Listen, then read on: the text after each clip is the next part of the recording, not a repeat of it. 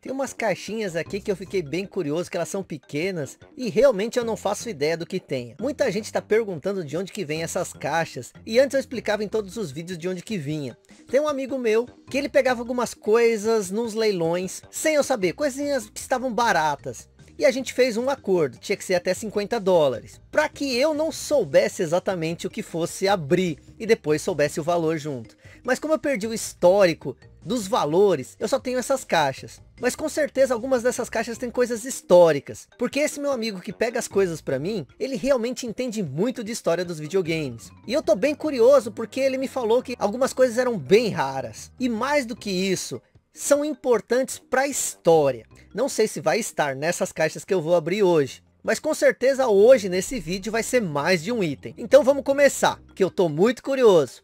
Então, bora! Vamos começar com essa caixa aqui. Tinha uma caixa em cima e eu ia abrir ela primeiro. Mas de repente eu peguei essa para ajeitar e ela tava bem pesadinha. Eu falei, eu vou querer saber o que, que tem aqui.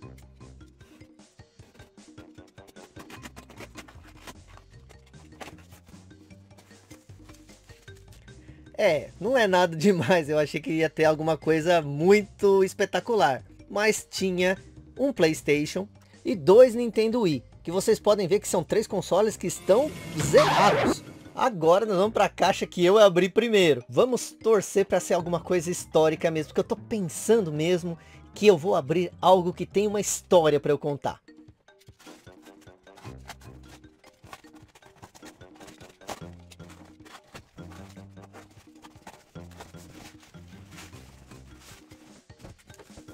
Realmente tem uma história para contar e vamos falar dela aqui. Esse aqui é o TV Game 15 e eu tô muito contente. Vocês estão vendo aqui, ó, um TV Game 15 aqui, ó. Mas eu nunca tive um na caixa.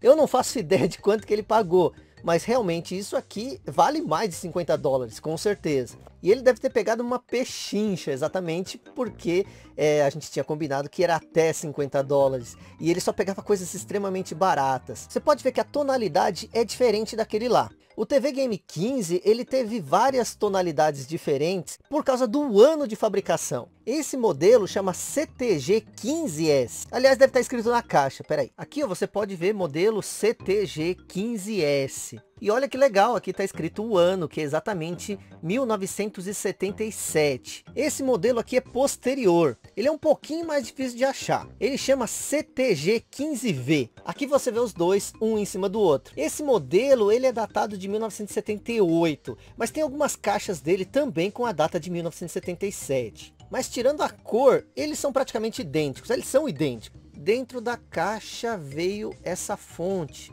Aí, ó, essa fonte original da Nintendo. Outra coisa que para mim é histórico também é esse seletor RF, também da Nintendo.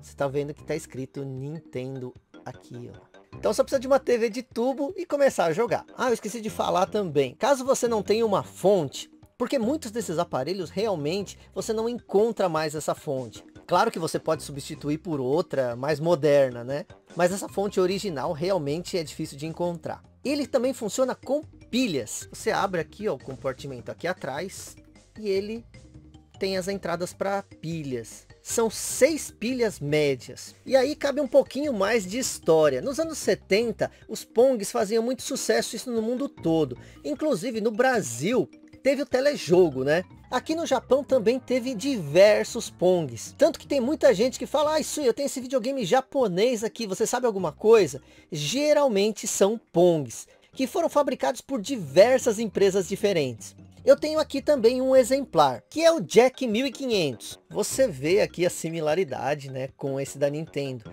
A diferença maior desses Pong japoneses é que ele tinha várias variações de jogos. Quer dizer, várias variações de pontinho e tracinho. Algo que chama a atenção é essas caixas ainda existirem. Mas se você puder tocar nelas, você vai entender.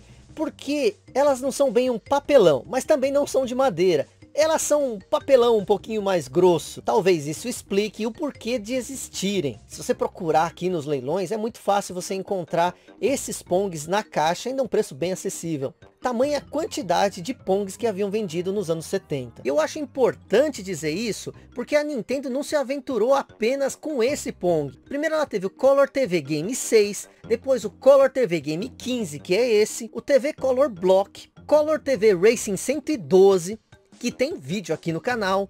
E talvez o videogame mais raro da Nintendo, o Computer TV Game. Todos esses jogos eram variações de Pong, e que são muito importantes para a história dos videogames e da Nintendo, pois foi assim que ela entrou no ramo de consoles. Essa caixinha aqui é bem levinha e bem pequenininha. Me deixou bem curioso em saber o que, que será que tem dentro dela. Vamos ver.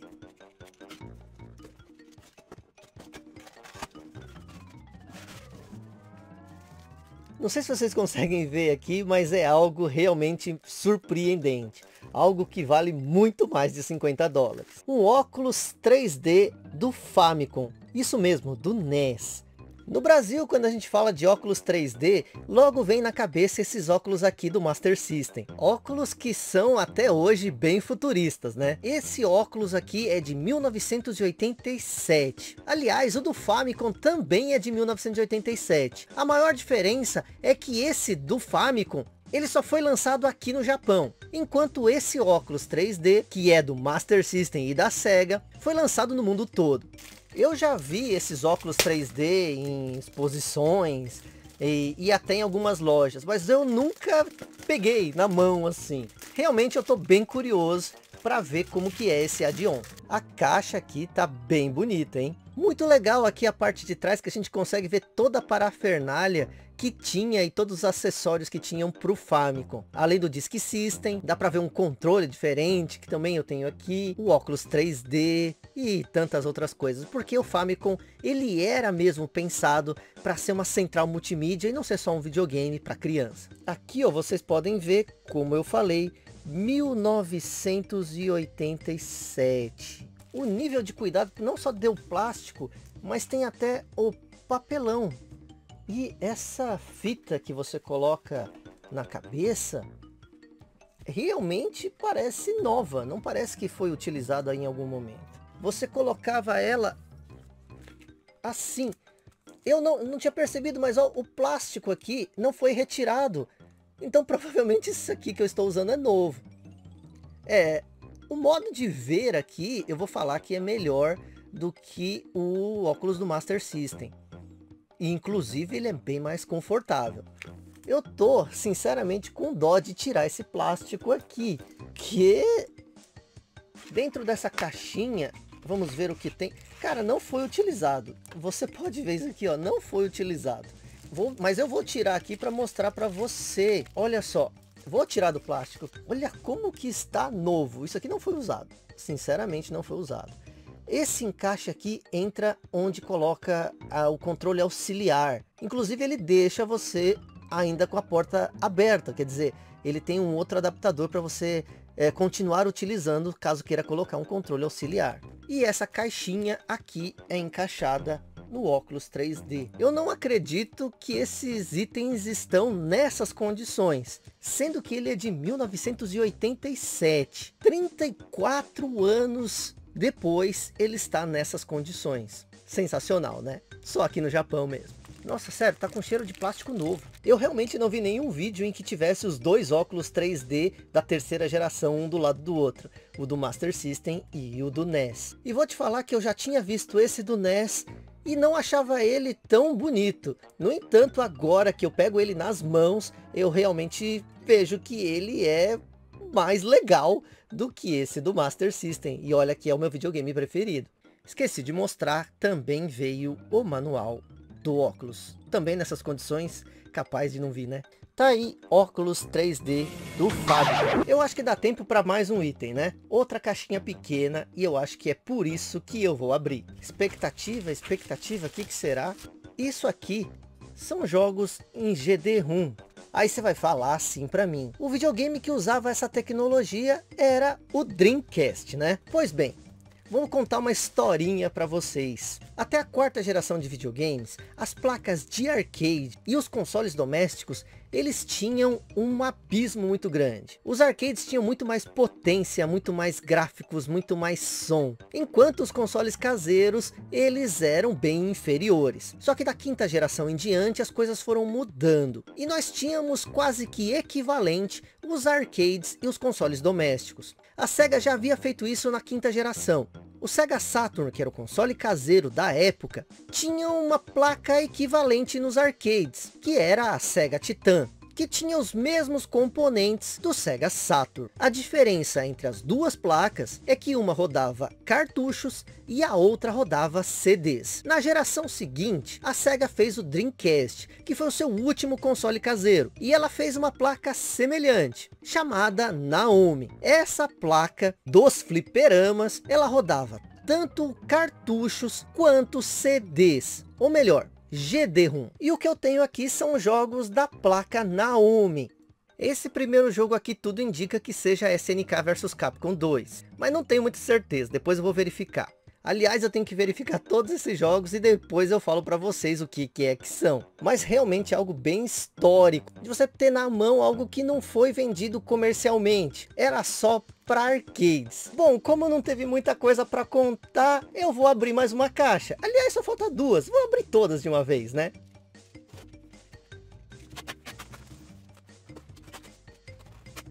O que será que tem aqui?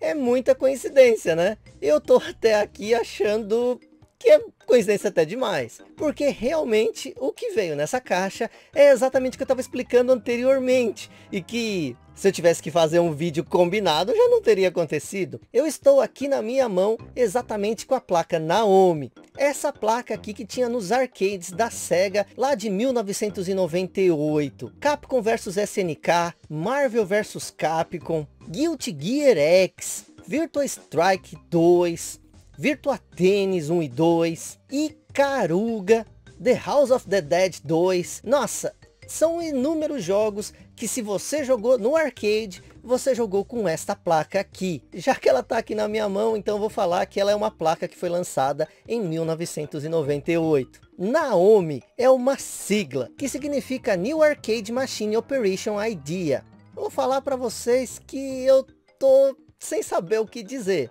Porque realmente é algo surpreendente para mim, algo que eu não esperava e faz parte da história. Para muita gente que fala assim, o Dreamcast é da geração 128-bit. Bom, eu vou matar a curiosidade de vocês dizendo o seguinte, tanto a Naomi quanto o Dreamcast possuem a mesma arquitetura, inclusive o mesmo processador, que é o Hitachi SH4, um processador de 32 bits. Aliás, como todos os consoles da geração e da geração posterior também, são processadores 32-bit. Algo que se deve falar dessa placa é que ela foi uma placa extremamente utilizada e uma placa muito bem sucedida. Os desenvolvedores de todas as épocas falam que essa placa aqui foi a placa mais fácil de se desenvolver jogos. Capcom, Jaleco, Namco, Tecmo foram empresas que fizeram jogos de arcade exclusivamente para essa placa. Não por causa de contrato de exclusividade ou nada disso, mas porque gostavam mesmo de programar nesta placa aqui. Muita gente fala que essa placa de arcade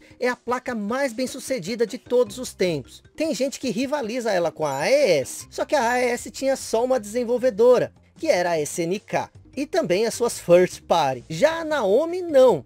Empresas conhecidas, como eu citei, e empresas desconhecidas gostavam muito de fazer jogos para essa placa aqui. Os componentes de áudio dela são todos da Yamaha, o que fez com que a qualidade de som fosse insuperável e uma das mais elogiadas até hoje. Então tá aí, para você que é conhecido dessa placa, se você jogava fliperama no final dos anos 90 início dos anos 2000, não tenha dúvidas que você já é íntimo dessa placa. Só faltava conhecer. Então tá apresentado. Sega Naomi. Vou até tomar um chá depois dessa aqui, fortes emoções.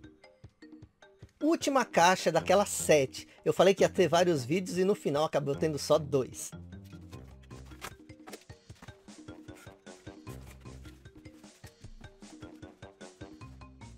Inacreditável.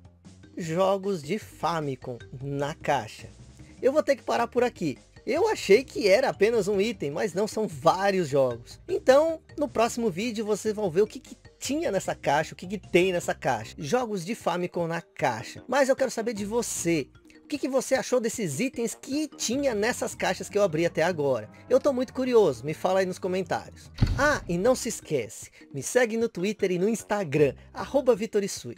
No Twitter a gente pode conversar sobre tudo. Já no Instagram eu posto foto de itens que eu ainda não mostrei aqui, além de você saber um pouco mais da minha vida aqui no Japão. Então me segue lá, arroba Vitorisui, no Instagram e no Twitter. Eu sou o Isui, eu te espero na próxima, com certeza. Obrigado a você que viu o vídeo até aqui. E até mais.